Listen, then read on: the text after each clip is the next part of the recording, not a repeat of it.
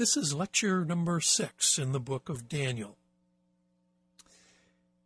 Between the end of chapter four and the beginning of chapter five, and in this lecture we'll be looking at chapters five and six, in between chapters four and five, there is a space of about half a century. Time markers in the book of Daniel are somewhat limited. We know that Daniel's deportation occurred in about 605 BC and he remained in Babylon at least until 539 BC uh, at the changeover from Babylon to Persia. So he was in Babylon for a, a, good length of time. It may have been even longer than that, but we know at least that much. His interpretation of Nebuchadnezzar's uh, initial dream uh, back in chapter 2 would have occurred in 603 BC, but then there really aren't any time markers in chapters 3 and 4 we usually assume that Nebuchadnezzar is well into his reign by this time and perhaps near the end of his reign, uh, but that cannot be established with any certainty. Chapter 5, on the other hand, begins with Belshazzar as the regent of Babylon, which is about half a century later. So, uh, we are beginning on slide 67 and 68 as we look at this period of time uh, in the book of Daniel. Slide 68, there is a brief chronology of the kings of Babylon between the time when Daniel entered Babylon under the reign of Nebuchadnezzar and the time when Babylon fell to Persia under Belshazzar. In the various references in chapter 5, it mentions that Belshazzar is the descendant of Nebuchadnezzar. Now, in older English versions, which usually use the expression son of, this was often taken to mean a direct descendant but actually the Hebrew expression "son of" uh, is is much more general uh, than uh, a direct descendant. It can mean direct descendant, but it can also mean uh, uh, a lineal descendant uh, some distance away. And so it's probably better to understand this as an ancestor of. So Nebuchadnezzar is the ancestor, or perhaps the grandfather of Belshazzar. Nebuchadnezzar's reign ends in 562 BC, and following him there is Neriglissar, which has a short reign, and then Nabonidus from 556 to 539. Nabonidus is actually the emperor of Babylon during this latter part of the uh, Babylonian Empire, uh, while Daniel is, uh, of course, serving in uh, the capital but he is absent from the capital for about 10 years conducting military campaigns in Arabia, and he only really returns to Babylon at the time that the city is falling to the Persians. While he is absent, he has begun a co regency with his son Belshazzar, who was co regent from 545 to 539. And this is the reason in chapter 5 you find Belshazzar described uh, as the ruler of Babylon. He's not the emperor of Babylon, but he is co regent and he is ruler of the city while his father is absent. Slide 69. This small uh, barrel cylinder uh, with cuneiform inscription uh, comes from the Persians and it describes Belshazzar as well as Nabonidus in the same cylinder. Uh, a number of years ago, there was uh, some question about whether Belshazzar even existed as a historical person because outside of the book of Daniel, there were no references that were known at that time. Since then, however, we have discovered Belshazzar on several inscriptions, and this is one of them, which describes he and his father Nabonidus uh, both in the same barrel inscription. Uh, Belshazzar, in this particular case, is described somewhat uh, with uh, uh, a deprecating line uh, in which Cyrus says a weakling has been installed as the ruler of the country. Uh, but in any case, uh, Belshazzar and Nabonidus are both named on this small cylinder. Slide 70. Chapter 5 shows this banquet, describes this banquet of Belshazzar on the eve of the fall of Babylon. And this glitzy show of bravado may seem uh, almost ridiculous to us as we read it today but it probably was intended to dispel the fears about the Persian invasion. We know, for instance, from the Nabonidus Chronicle, a uh, an inscription that I will show you in a few moments, that the Persian armies already were at the outskirts of the city. They had already put the city to siege. So, if the Persian armies are outside the city, Belshazzar needs to encourage the flagging spirits of his citizens, and he used the temple vessels from Jerusalem probably as an attempt to remind his subject that the gods of Babylon were greater than the gods of Judah, and therefore they would be greater than the gods of Persia. This was a typical pagan perception. Herodotus, the Greek historian, uh, well before the time of Jesus, indicates that the Babylonians made light of the siege. They believed that their wall defenses and their storage supplies would be more than adequate to withstand the siege of the Persians. So, this banquet of Belshazzar was probably an effort to encourage his citizens as well as his troops that they were in no real danger. However, as we know from the book of Daniel, that during this banquet, when they used the vessels from the temple with which to drink wine, thus desecrating uh, the holy uh, implements that had been taken from Jerusalem, that during this banquet, suddenly there appeared the hand of a man writing in the plaster on the wall. Naturally, Belshazzar and everyone were shocked and uh, very frightened and disturbed by this appearance. And uh, as it turns out, Daniel is called in uh, because the wise men could not read this writing, nor could they interpret this writing. And as Daniel is called in, he could both read it and interpret it. Now, this raises somewhat of a question. If uh, the writing was in standard alphabetic letters, which apparently it was, the question remains as to why it was difficult to read, because the words, in fact, are common words.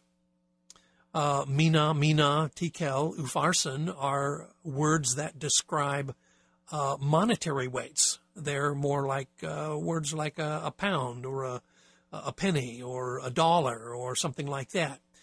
Mina uh, is a word that means 50 shekels, and it also means numbered. The word tekel means one shekel, and it means weighed. And upharsin really means a half weight, but it can also mean divided. But these are not strange words. These are not unusual words. These are words in common vocabulary. So it raises the question why the wise men could not read this handwriting. Obviously, if they couldn't read it, they couldn't interpret it either. But the idea of them not being able to read it is a little bit strange. We don't actually know why they couldn't read it, but one very old theory is that the writing wrote the letters so that they would read vertically rather than horizontally. Hebrew, as you probably are aware, is written normally horizontally from right to left. So, unlike uh, European and English languages where we read left to right, Hebrew is read right to left.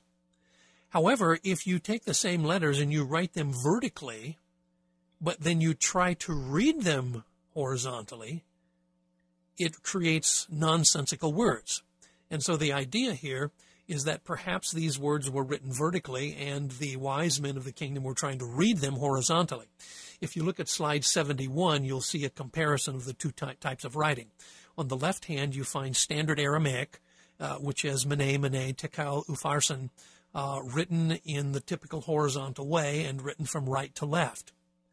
But if you look at the right hand uh, script, you'll notice that Mene is written on the far right hand side vertically, with a mem, a nun, and an aleph reading downward. And then the same word again reading downward, and then tekel reading downward, and then upharsin in two lines reading downward. If a wise man attempted to read this same script horizontally from right to left, it would be nonsense. So this is one theory, at least, as to why this was not easily read.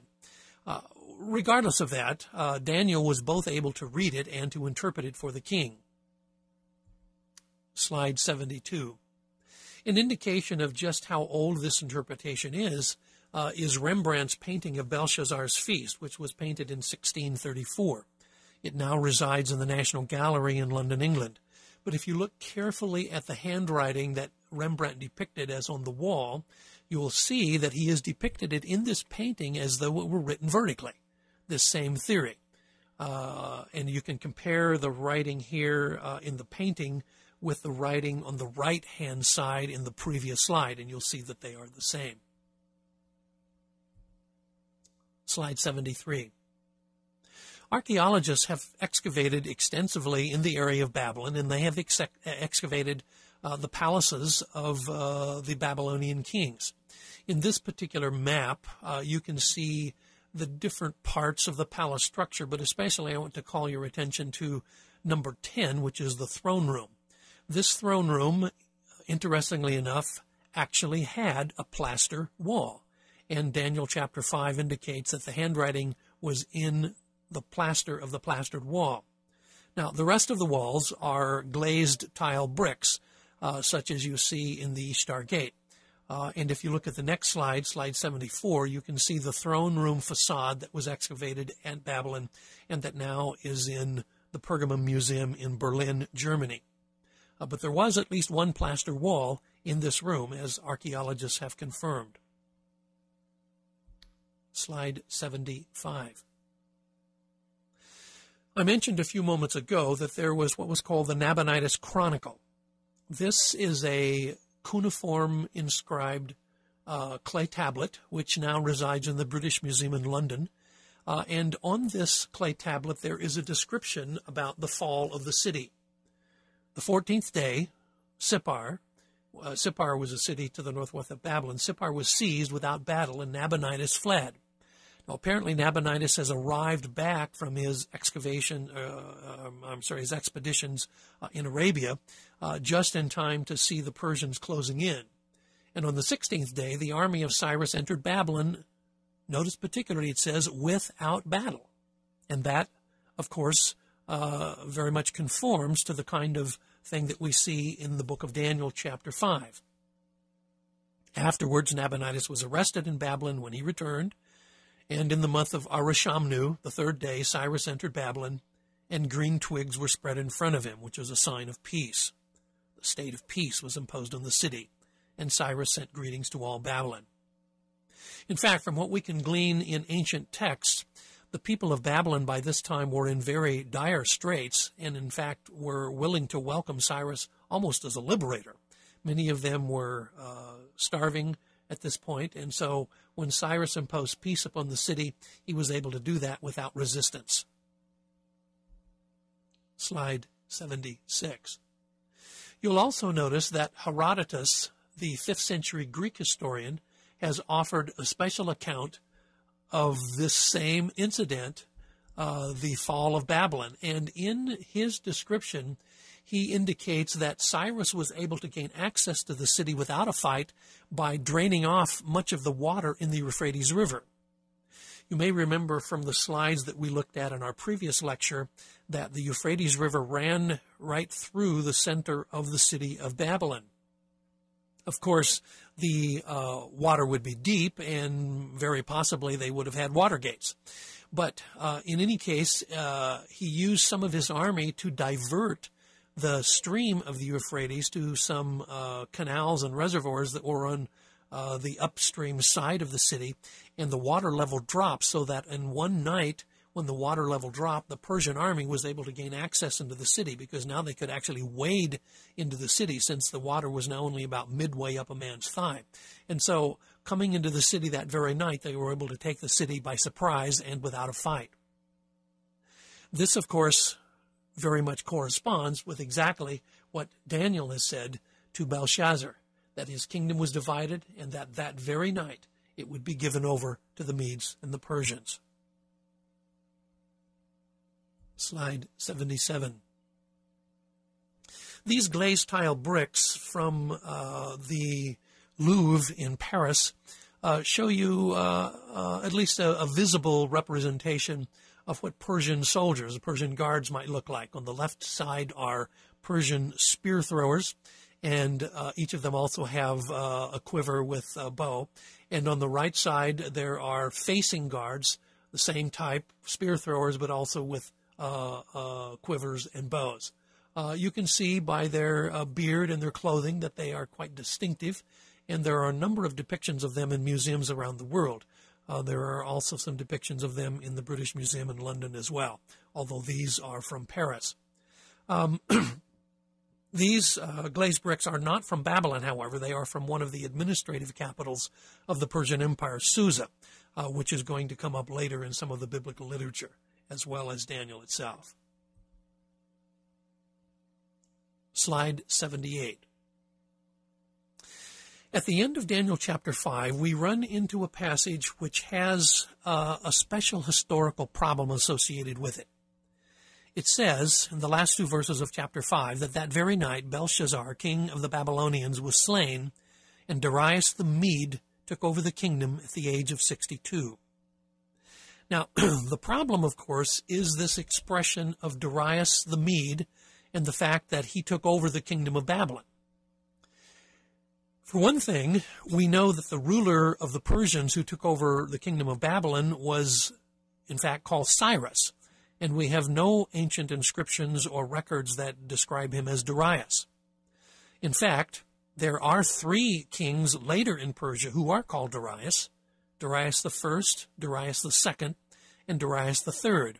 But all of these kings are much too late uh, to be Cyrus. Uh, uh, Cyrus takes over uh, the Babylonian Empire in 539, and this is a very well established date in antiquity.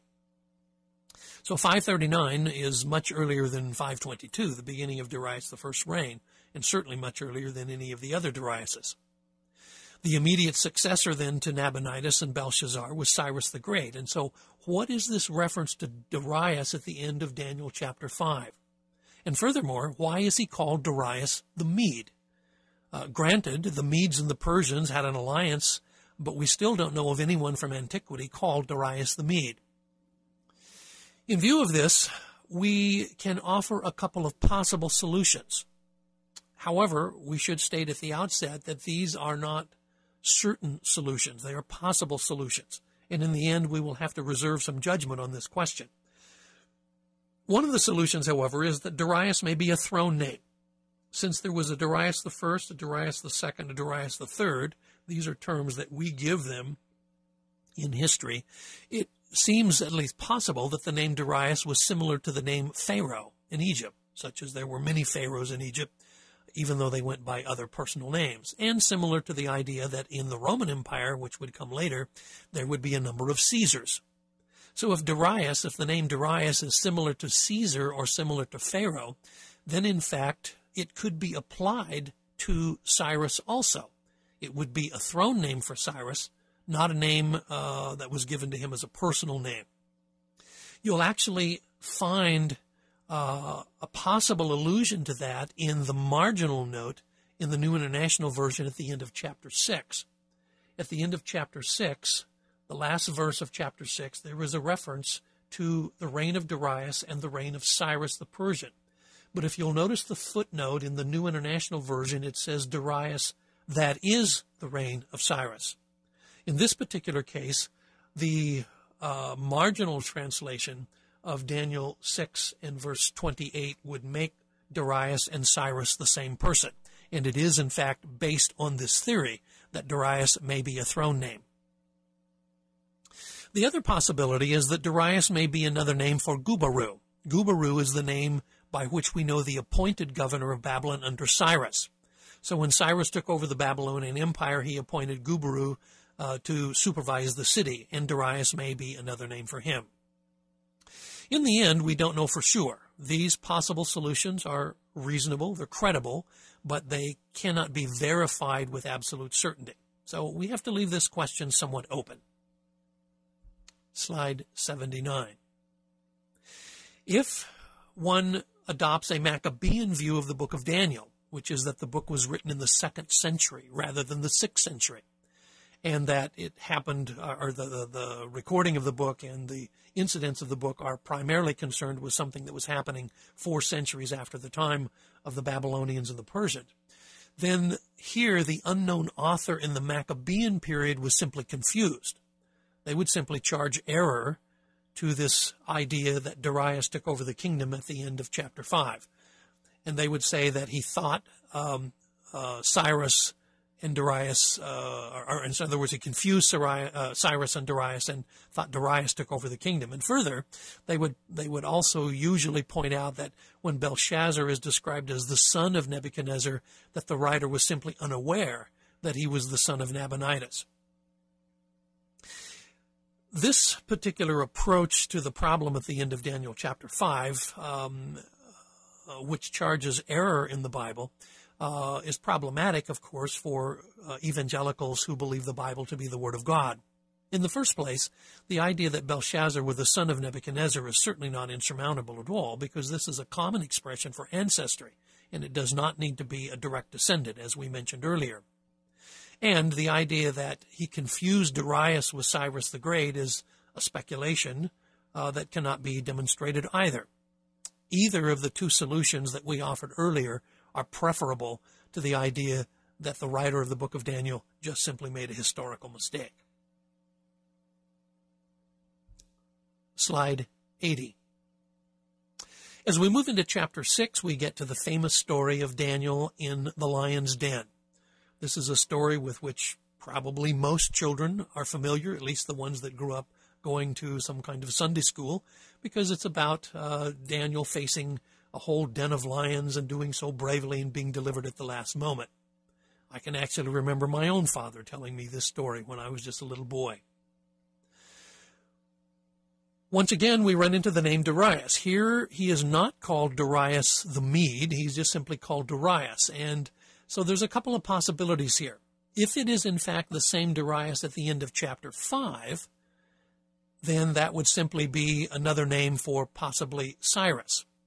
On the other hand, if it is Darius the First, which we know from history, whose reign began in 522 and extended to 486 BC, then uh, Daniel would have been a very old man at this time, and we must allow for a number of years between the end of chapter 5 and the beginning of chapter 6. The end of chapter 5 would have been in 539, and chapter 6 could not be until at least 522 or later, so uh, some 17 years or more later. And if that is true, then Daniel would have been very, very old at this time, probably uh, well into his 90s and uh, getting near 100 years old. Slide 81. I will assume at this point that the Darius in chapter 6 is probably Darius the first. Now, again, that cannot be uh, uh, accepted without qualification. But if it is Darius the first, uh, then uh, this slide shows you a depiction from ancient Persia of this Darius the first, and he is the same Darius that's going to be mentioned uh, in the book of Ezra when he authorized the Jews to continue work on rebuilding the Second Temple. Slide 82.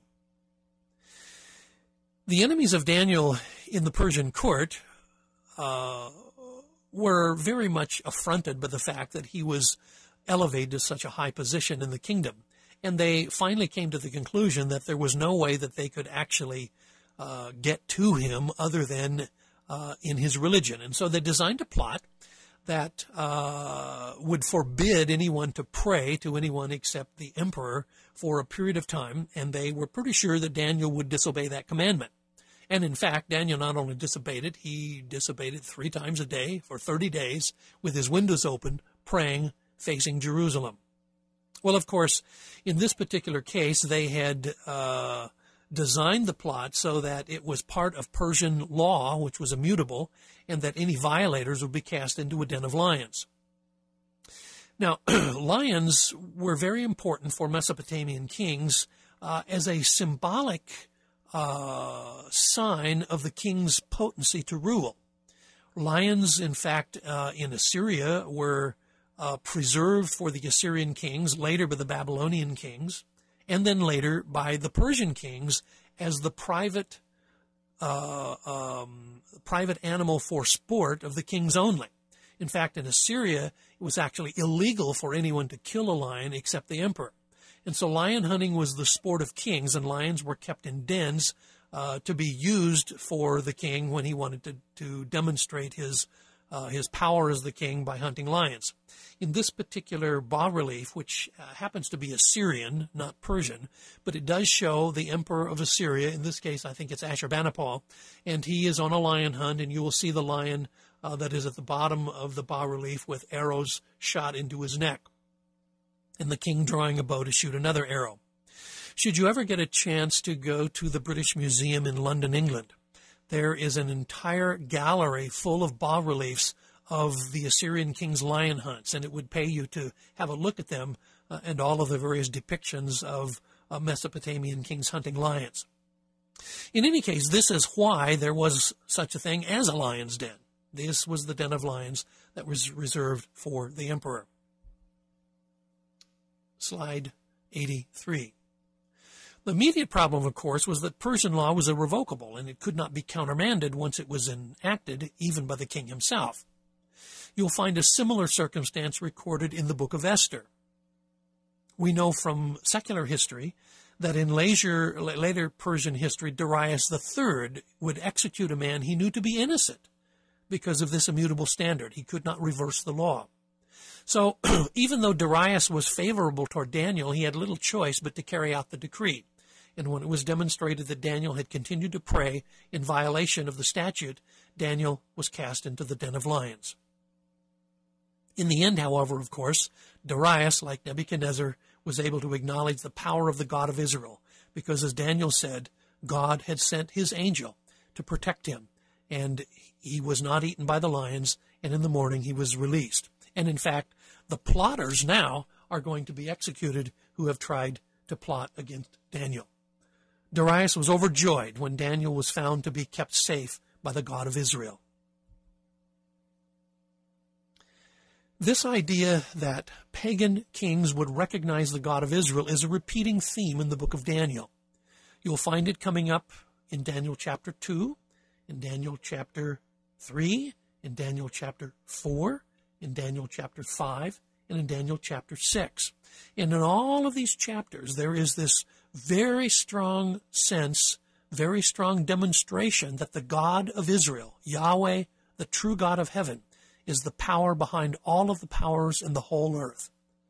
All kingdoms, whether Babylonian or Persian, all kingdoms and all kings are under his sovereignty. And this seems to be a very important theme in the book of Daniel and would be especially important for Jews who were taken into exile by a pagan king.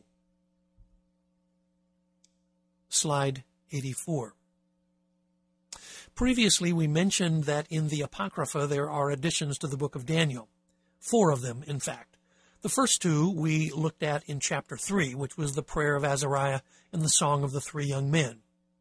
The other two uh, are at the end of the book of Daniel, and if you uh, look at a Roman Catholic version of the book of Daniel, you'll find them as chapters 13 and chapters 14.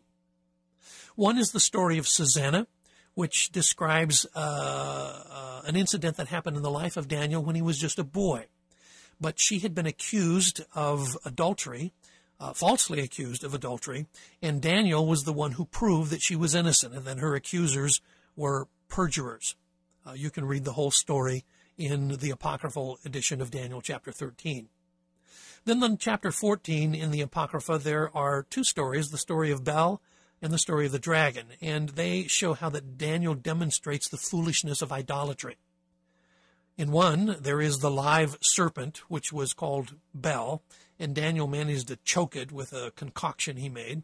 And the other one is almost like a, a bit like a detective story in which Daniel proved uh, by adroitly sprinkling ashes on the floor that the priests of uh, Bel were actually coming in the night and taking the food from Bel's altar and trying to uh, to deceive everybody by thinking that the god had eaten the food, but in fact the priests had come and stolen it away at night.